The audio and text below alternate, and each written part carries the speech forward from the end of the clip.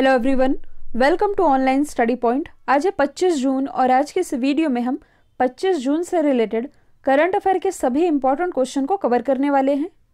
और आप में जो भी रेलवे के एस्पिरेंट हैं, उनके लिए टेक्स्ट बुक पर R R B N T P C दो हज़ार इक्कीस के अपडेटेड और लेटेस्ट 176 टेस्ट ये आप लोगों को मिलेंगे, जिसमें कि 26 टोटल टेस्ट फ्री हैं। साथ में आप लोगों को R R B N T P C इसका जो सी बी टी टू होना है। इसके लिए अपडेटेड नब्बे टेस्ट जूनियर ट्रांसलेटर के टू हंड्रेड टेस्ट और ये सभी आप लोगों को मिल सकेंगे। साथ ही आप फ्री टेस्ट के लिए साइन अप कर सकते हैं फॉर बेटर एक्सपीरियंस और use the coupon study ten study ten का कूपन आप यूज़ किए और टेक्स्ट बुक पर काफ़ी सारे एग्ज़ाम्स के स्टडी मटेरियल और मॉक टेस्ट ये अवेलेबल होते हैं, जिसमें आप लोगों को रेलवे एसएससी बैंकिंग डिफेंस आदि सभी एग्ज़ामों से रिलेटेड आठ हज़ार प्लस मॉक टेस्ट एक साल के लिए कितने में? टू नाइन नाइन में और दो साल के लिए ये आप लोगों को मिल सकेगा फोर नाइन नाइन में। तो यदि आप इसे लेना चाहें तो आप स्टडी टेन का कूपन इस्तेमाल करके इसे परचेस कर सकते हैं। इससे आप लोगों को तीस रुपये एक्स्ट्रा डिस्काउंट मिल सकेगा। लिंक डिस्क्रिप्शन बॉक्स में दी हुई है। तो चलिए स्टार्ट करते हैं हमारा पहला क्वेश्चन। हाल ही में अमेरिका और रशिया के जो राष्ट्रपति हैं, इनके बीच शिखर सम्मेलन ये किस शहर में आयोजित किया गया? तो ये आयोजित किया गया था जेनेवा में। जेनेवा, जो कि स्विट्ज़रलैंड का एक शहर है। अब ये इतना इम्पोर्टेंट क्यों बन जाता है? तो ये तो आप सभी जानते हैं कि रशिया और अमेरिका, इन दोनों के बीच का जो टशन है, ये काफ़ी समय से चला आ रहा था। खास तौर पर यदि देखा जाए तो अमेरिका में जब डोनाल्ड ट्रंप का शासन था, जब ये अमेरिका के प्रेसिडेंट थे तो यदि अमेरिका में कुछ भी चीज़ें बिगड़ती थी, खास तौर पर यदि साइबर सिक्योरिटी को लेकर के कोई भी चीज़ बिगड़ती थी तो ये सीधे रशिया को पॉइंट आउट किया करते थे। और दुश्मनी इतनी ज़्यादा बढ़ गई कि दोनों देशों ने कुछ समय पहले ही एक दूसरे के जो राजदूत थे, जैसे कि अमेरिका को जो राजदूत था, रशिया में था, और रशिया को जो राजदूत था, ये था अमेरिका में। इन दोनों ही राजदूतों को अपने अपने देश बुलवा लिया था। लेकिन अब क्या हो रहा है कि आप जानते ही हैं, अमेरिका में नए प्रेसिडेंट बन गए हैं, नाम तो सुना ही होगा, जो बाइडन। तो अभी क्या हुआ है कि इन दो देशों के, इन दो बड़े देशों के ये जो नेता हैं, ये आपस में मिले हैं, एक तरह की मीटिंग की है, और इस मीटिंग के बाद जो व्लादिमिर पुतिन है, रशिया के प्रेसिडेंट, ये जो बाइडन की तारीफ़ करते रुक ही नहीं रहे हैं। वो होता है ना कि व्लादिमिर पुतिन ने बाइडन को कहा कि आप बहुत अच्छे हैं। बाइडन ने क्या कहा? नहीं नहीं, आप बहुत अच्छे हैं। फिर ये कहेंगे, नहीं, ऐसा नहीं, आप ही बहुत अच्छे हैं। तो बस इस तरह की इनकी मीटिंग संपन्न हुई है, जो भी बातचीत हुई हो। तो दोनों देशों के बीच संबंधों को सुधारने के लिए दोनों ही नेताओं की एक पहल थी, जो कि आयोजित की गई जेनेवा में। जेनेवा जो कि स्विट्ज़रलैंड का एक शहर है स्विट्ज़रलैंड की राजधानी है बर्न। मैंने आप लोगों को बताया था कि फ्रांस और स्विट्ज़रलैंड के बीच में एक पर्वत है, जिसे आप पेरेनीस पर्वत के नाम से जानते हैं। और यदि आप करंट से रिलेट करेंगे तो हाल ही में आईएमडी प्रतिस्पर्धा सूचकांक, यानी कि कॉम्पिटेटिवनेस इंडेक्स रिलीज़ किया गया, जिसमें टॉप पर स्विट्ज़रलैंड था। इंडिया की रैंकिंग इसमें 43 रही है। इसके अलावा कुछ समय पहले ही स्विट्ज़रलैंड के द्वारा पब्लिक प्लेसेस पर, यानी कि जो सार्वजनिक स्थल होते हैं, यहाँ फेस कवर करने पर बैन लगाया गया है। अगला क्वेश्चन है ग्रेट बैरियर रीफ जो कि हाल ही में खबरों में था, ये किस देश में स्थित एक प्रवाल भित्ति है? यानी कि कोरल रीफ तो आप जानते ही हैं, ये ऑस्ट्रेलिया से रिलेटेड है। ऑस्ट्रेलिया के मैप में यदि आप देखेंगे तो ये है ऑस्ट्रेलिया का मैप, और उत्तरी पूर्वी साइड में आप लोगों को ग्रेट बैरियर रीफ की लोकेशन दिखाई पड़ती है। यहाँ जो टर्म लिखा हुआ है, कोरल रीफ, यानी कि प्रवाल भित्ति, ये होते क्या हैं? तो कहने का मतलब है कि समुद्र में रहने वाले जो जीव हैं, जब वो मर जाते हैं, यानी कि मृत जीव के जो अवशेष हैं, ये जब एक स्थान पर इकट्ठा होने लगते हैं तो कैल्शियम कार्बोनेट की संरचना बन जाती है, इसे ही हम प्रवाल भित्ति या कोरल रीफ कहते हैं। तो ऑस्ट्रेलिया के उत्तरी पूर्वी हिस्से में यदि आप देखेंगे तो इस तट से लगभग 2300 किलोमीटर की दूरी पर ये कोरल रीफ यानी कि प्रवाल भित्ति पाई जाती हैं, जिसे कि यूनेस्को के द्वारा 1981 में विश्व विरासत घोषित किया गया था। और हाल ही में यूनेस्को का ये कहना है कि इन रीफ पर ब्लीचिंग इवेंट्स के कारण इन प्रवालों को काफ़ी नुकसान हुआ है और इस कारण इसे खतरे की विश्व धरोहर स्थलों की लिस्ट में डाला जाना चाहिए। लोगों को ये बताने के लिए कि इन्हें खतरा है।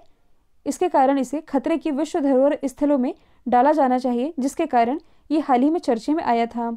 ऑस्ट्रेलिया की यदि हम बात करें, इसकी कैपिटल है कैनबरा, करेंसी है डॉलर, यहाँ के प्राइम मिनिस्टर हैं स्कॉट मॉरिसन।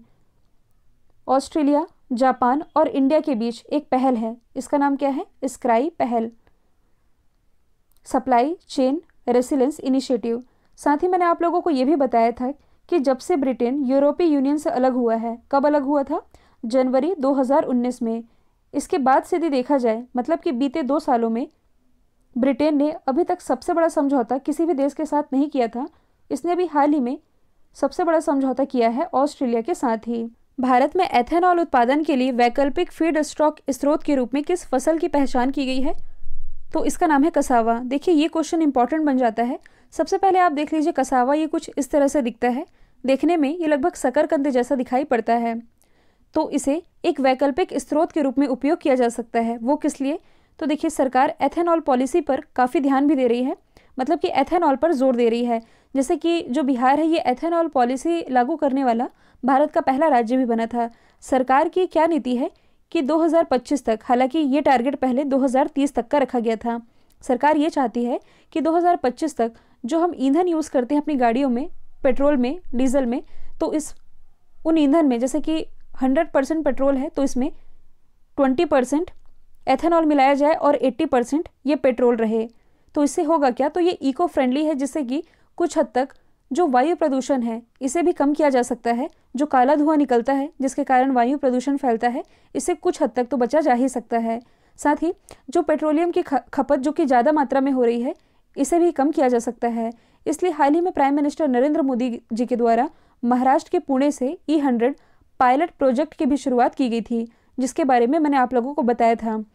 तो ये जो एथेनॉल है, इसका उत्पादन कैसे होता है? वैसे तो जो गन्ना होता है, गन्ने से ही एथेनॉल बन जाता है, ये एक तरह का एल्कोहल है आप कह सकते हैं, जिसके कारण ये माना जा रहा था कि गन्ने का उत्पादन ये सबसे ज़्यादा कहाँ होता है? उत्तर प्रदेश में। सबसे ज़्यादा शुगर की मिले, ये कहाँ है? क्योंकि शुगर ये तो गन्ने से ही बनता है। ये है महाराष्ट्र में। तो इससे ये जो एथेनॉल बनने वाला था, बनने वाला तो था गन्ने से ही, लेकिन इसी के ऑप्शन के रूप में अब क्या निकल करके सामने आ रहा है? कसावा। कसावा जो कि एक तरह का पौधा है, ये कार्बोहाइड्रेट का अच्छा सोर्स है। इसका वैज्ञानिक नाम है मनी हार्ट एस्कुलेंटा। और खासियत यह है कि ये कम पानी में तेज़ी से बढ़ता है, खासकर जो उष्ण कटिबंधी इलाके हैं। गर्म स्थानों में उष्ण कटिबंधी कहने का मतलब है कि ग्लोब में जो कर्क रेखा है कर्क रेखा भारत के बीचों बीच से होकर के जाती है तो कर्क रेखा के 10 डिग्री ऊपर और 10 डिग्री नीचे का क्षेत्र। इन उष्ण कटिबंधी इलाकों में इसका उत्पादन अच्छा होता है और इस कारण ये मानना है कि इसे एक ऑप्शन के रूप में देखा जा सकता है, नाम है कसावा। ये सारी चीज़ें मैंने आप लोगों को बता दी है। सरकार का टारगेट क्या है? कि एथेनॉल सम्मिश्रण पेट्रोल यानी कि ये जो एथेनॉल ब्लेंडिंग स्कीम है, इसके तहत 2025 तक ईंधन में एथेनॉल का मिक्सचर ये 20 परसेंट करने का फैसला किया गया है। हाल ही में दुनिया का पहला अनुवांशिक रूप से संशोधित रबर का पौधा, यानी कि जेनेटिकली मोडिफाइड रबर इसका पौधा कहाँ लगाया गया है? तो ये भी हाल ही में लगाया गया है असम में। इसे आप ऐसे समझ सकते हैं। आप लोगों ने बीटी कपास के बारे में तो सुना ही होगा। बीटी कपास, इसमें क्या हुआ था कि इसके भी जीन में परिवर्तन किया गया था। और इसके काफ़ी अच्छे रिज़ल्ट देखने को मिले थे, क्योंकि इसके जीन में परिवर्तन करने के बाद इसकी क्वालिटी बढ़ गई और भारत में इसका उत्पादन तेज़ी से बढ़ा था तो इसका एक पॉजिटिव इफ़ेक्ट पड़ा था। अब क्या हुआ है कि दुनिया का ये जो पहला जेनेटिकली मोडिफाइड रबर है, इसका भी पौधा लगा दिया गया है असम में। और इसके बारे में यदि मैं आप लोगों को बताऊँ तो ये जो जीएम वेरिएंट रबर है, ये प्रतिकूल जलवायु की परिस्थितियों को झेलने में भी सक्षम है वही मैंने बताया कि इसकी क्वालिटी और गुणधर्म बढ़ जाता है। इसका ट्रायल किया गया और इसके ट्रायल खत्म होने के बाद ये बात निकल करके सामने आई है कि इस पौधे से जब उत्पादन बढ़ेगा उत्पादन बढ़ेगा तो किसानों की आय में भी बढ़ोतरी हो सकती है। और इससे ये भी होगा कि कम समय में ज़्यादा से ज़्यादा रबर का उत्पादन हो सकेगा और ऐसा ही पौधा लगाया गया है असम में।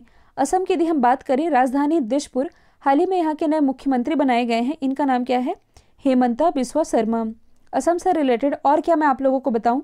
तो देखिए, हाल ही में यहाँ छठवें और सातवें नेशनल पार्क की घोषणा की गई है तो इन सातों के नाम को हम डिस्कस कर लेते हैं।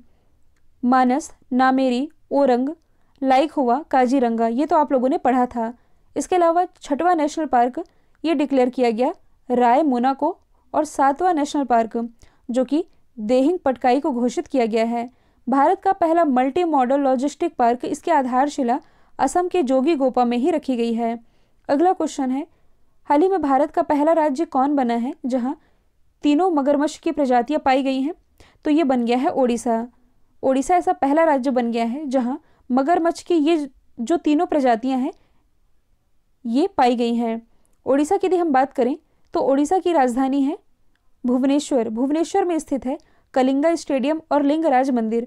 भारत का पहला फायर पार्क ये इसी भुवनेश्वर में स्थापित किया गया है। साथ ही ओडिशा गवर्नमेंट के द्वारा भारत का सबसे बड़ा हॉकी स्टेडियम ये बनाने की घोषणा की गई है ओडिशा में ही।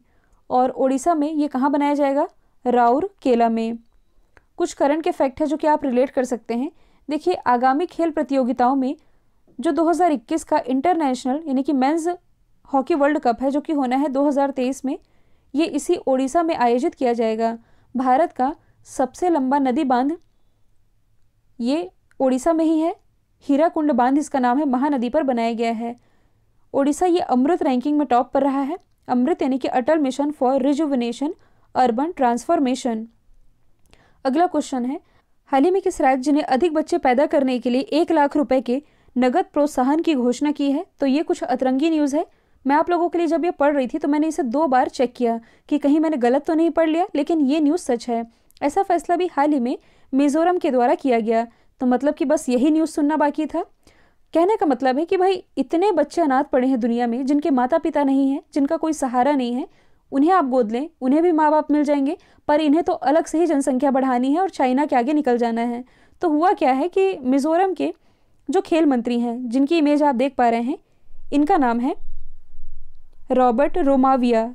इन्होंने ये घोषणा की है कि राज्य में जो भी अधिक बच्चे पैदा करेगा उन्हें प्रोत्साहन दिया जाएगा। और सुनिए, राज्य में जो भी अधिक बच्चे पैदा करेंगे, इन्हें एक लाख रुपए तो मिलेगा ही, साथ ही प्रमाण पत्र और एक ट्रॉफी भी मिलेगी। अब ये कैसी योजना है कि इन्होंने ऐसी कौन सी अचीवमेंट हासिल कर ली है कि अब इन्हें ट्रॉफी भी दी जानी है? एक तरफ़ तो सरकार कहती है, जैसे कि असम का ही एग्ज़ाम्पल ले लो। असम ने क्या फैसला किया है कि दो से अधिक बच्चे पैदा होने पर हम सरकारी नौकरी नहीं देंगे, और दूसरी तरफ़ ये जनसंख्या बढ़ाने पर तुले हुए हैं? अच्छा मिजोरम के द्वारा ऐसी घोषणा क्यों की गई है? मंत्री ने अपने बयान में ये कहा है कि राज्य में बांझपन के दर में, बांझपन कहने का मतलब है कि ऐसी माता जो कि बच्चे को जन्म नहीं दे सकती है, बांझपन के दर में वृद्धि हुई है और मिजोरम की जो आबादी है, इसके बीच विकास दर में कमी आई है जो कि चिंता का विषय बना हुआ है। और यदि देखा जाए तो आप लोगों ने ये तो पढ़ा होगा कि भारत में सबसे कम जनसंख्या घनत्व ये किस राज्य का है? तो ये है अरुणाचल प्रदेश का। जनसंख्या घनत्व कहने का मतलब है कि एक वर्ग किलोमीटर में कितने व्यक्ति रहते हैं? तो अरुणाचल प्रदेश में सत्रह रहते हैं। अरुणाचल प्रदेश के बाद दूसरे स्थान पर है मिजोरम, जहाँ की यहाँ का जनसंख्या घनत्व है फिफ्टी टू परसेंट एक वर्ग किलोमीटर में बावन परसेंट रहते हैं। पूरे भारत के यदि पूछा जाए तो आप जानते ही हैं, तीन सौ बयासी व्यक्ति प्रति वर्ग किलोमीटर यहाँ रहते हैं। तो इनका ये कहना है कि कम जनसंख्या होने के कारण मिजोरम डेवलप नहीं हो पा रहा है, इसलिए बच्चे पैदा करो और पुरस्कार पाओ। यदि हम बात करें मिजोरम की, इसकी लोकेशन आप देख सकते हैं। मिजोरम की राजधानी तो ये है आइजोल, यहाँ के मुख्यमंत्री ये है जोरम थंगा, राज्यपाल है पी एस श्रीधरण पिल्लई। आप ये भी याद रखेंगे कि ये जो आप लोगों को चार राज्य दिख रहे हैं, अरुणाचल प्रदेश, नागालैंड, मणिपुर और मिजोरम, ये चारों सीमा साझा करते हैं म्यांमार के साथ। म्यांमार ये भी चर्चे में रहा है, इसलिए इसे आप ज़रूर याद रखेंगे।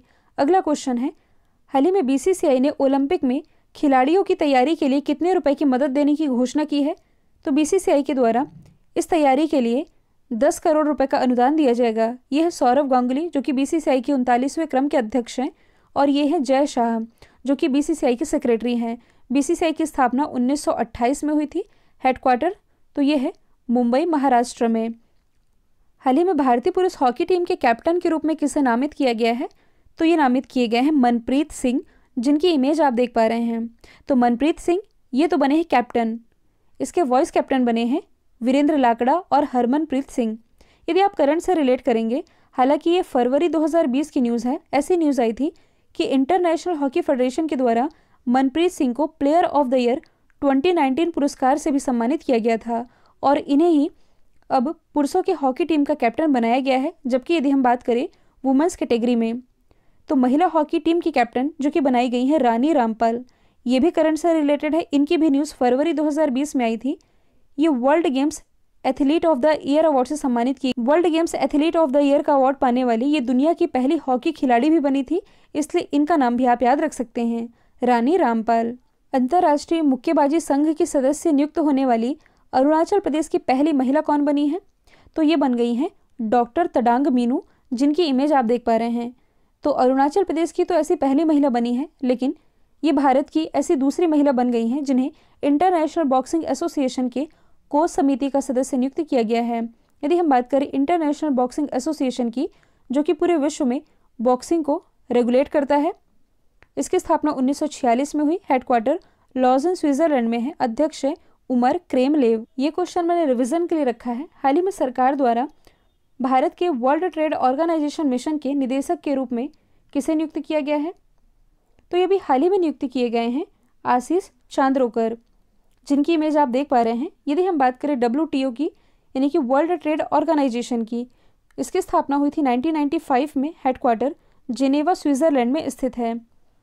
और प्रेजेंट टाइम में इसके अध्यक्ष कौन है? नकोजी अंकोजी डब्ल्यूटीओ की अध्यक्ष बनने वाली पहली महिला और पहली अफ्रीकी हैं ये, जो कि नाइजीरिया से बिलोंग करती हैं।